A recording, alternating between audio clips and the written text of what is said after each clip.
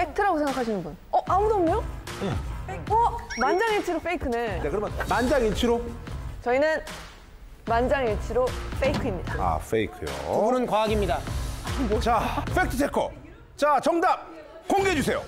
두부 얼려 먹으면 단백질 함량 6배. 엄마가 이게 더 영향이 있다고는 하셨던 거긴 해요. 과학 시간에 배웠잖아요. 질량 보존의 법. 소비 촉진을 위해서. 예, 썰일 수도 있다. 다이어트 20년째 하고 있는데 그런 얘기를 들어본 적이 없어, 내가. 두부 얼려 먹으면 단백질 함량 6배. 이 뉴스는 제발. 이 뉴스는 페이크입니다.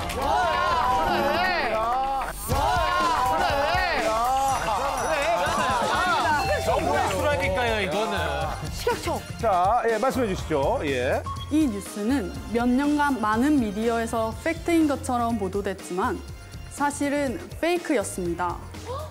얼린 두부의 수분을 빼는 과정에서 두부의 중량 대비 단백질 비율이 높아졌을 뿐 단백질 함량 자체가 늘어난 것은 아닙니다. 두부를 얼리는 것은 단백질 함량에 어떠한 영향도 주지 않습니다. 그래요 박서. 아, 여러분. 아 요들 한번 갈까요 요들? 요들레, 요들레.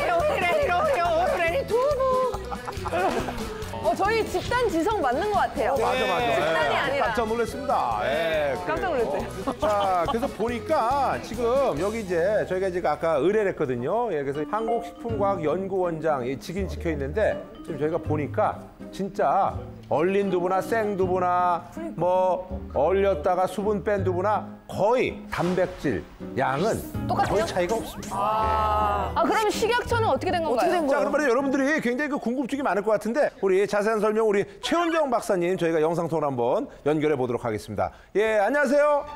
아, 네, 안녕하세요. 너무 반갑습니다. 네. 반갑습니다. 지금 이분들이 이제 그 정답을 이제 유추해가는 과정 보시는데 어우 대단히 그 상당한 지식들이 있어요.